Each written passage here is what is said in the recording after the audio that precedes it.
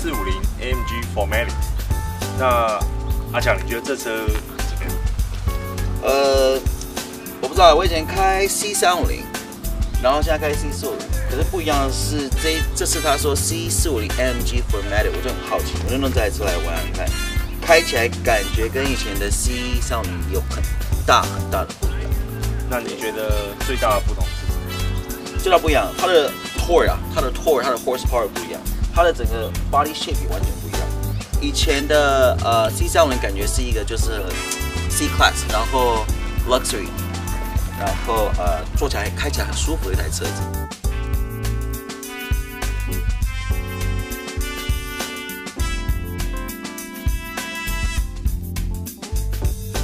C 四五零有点不安分的感觉。它不单只是那种小小的轿车，坐起来舒服。你想要 performance 也有 performance，你想要那个 body look 也有那个 body look，还蛮 aggressive，可是又很适合 daily 开，因为呃它开起来是很舒服。那你觉得这台车对你来说最 impress 的是什么？最让你惊艳的？最让我惊艳，我觉得它给我感觉是重新认识 Mercedes 这个牌子。对，因为我觉得。很大很大一个转变，因为它整个重新设计过，感觉很年轻，非常年轻。这个 engine 怎么样？这 engine 啊，我我还蛮喜欢的，只是说，毕竟它不是一个纯正的 AMG 嘛。我们都知道，纯正的 AMG 有个呃 mechanic 的 technician 的那个 signature，嗯嗯，那是纯正的。可是这毕竟没有，它不是，它是有 AMG 血统的，对，可是它只是经过 AMG 机制的调校。那你觉得这个跟六三，我们？差别差别差异。其实我觉得零到六十一个多少？一个四点七，一个四点一，起步差不了多少了。可能在 freeway 上高速的时候会有差距，毕竟一个六缸一个八缸。那我觉得我们一般人开应该也开不出多少。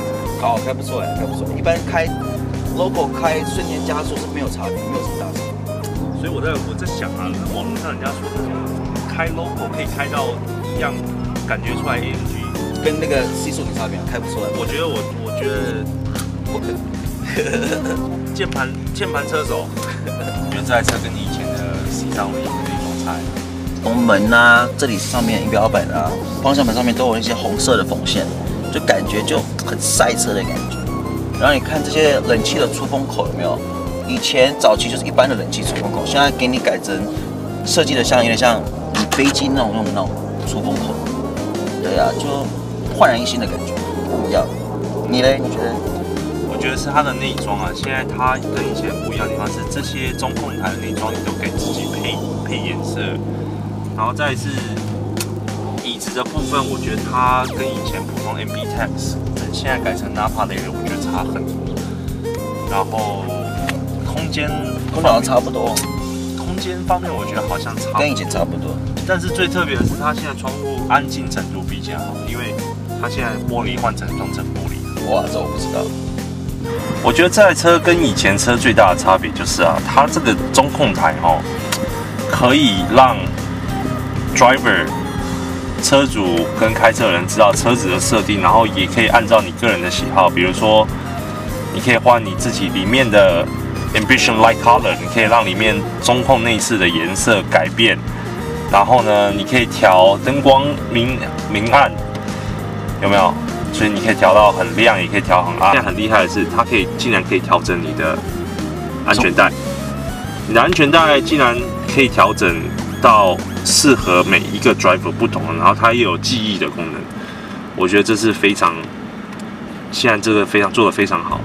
那再来是，我觉得它的 system setting 呢，我不知道这台车现在，哎，有了，现在有中文了。我觉得这跟旧款的车最不一样的地方是，它现在竟然可以用中文来来来介绍这台车，这是 我觉得这在车子方面是一个很大的革命。那至于说其他像导航啦、收音机啊、media，我觉得这些东西上一代就有，但是他们他现在把它传承下来，然后发扬光大。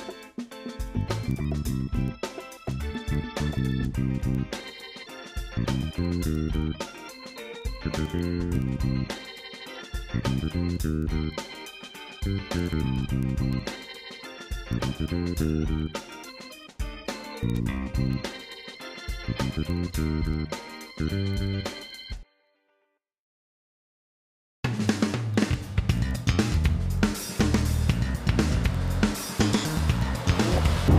竟市区的嘛，那个过弯的感觉，我其实觉得比上一代好很多。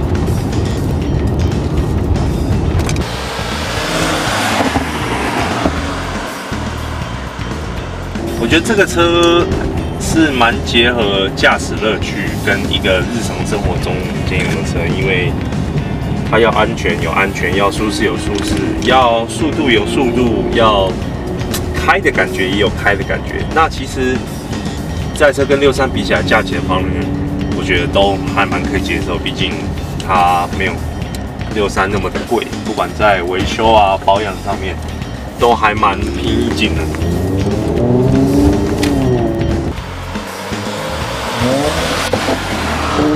零八零九年的时候，那时候我有一台呃 C 三五零，Yeah，那这是我前台 C 四五零，其实感觉差蛮多的。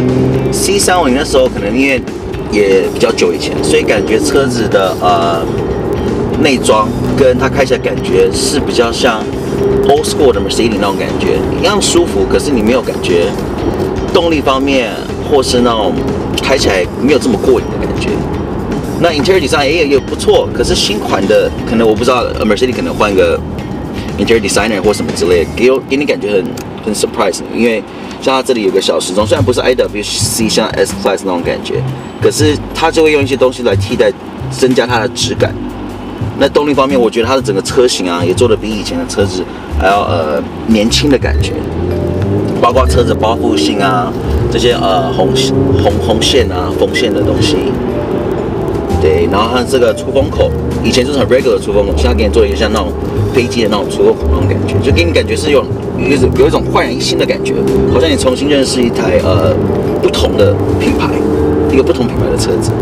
我想 Freeway 跟 Local 应该有二十五个 combine 吧，它三百六十二、三百八十四的扭力，我觉得以一个六缸双涡轮增压车子，它真的是做的算不错的，不管是它的质感啊。内装啊，以及它的动力分配啊，而且它最 impress 的是，你可以调成前，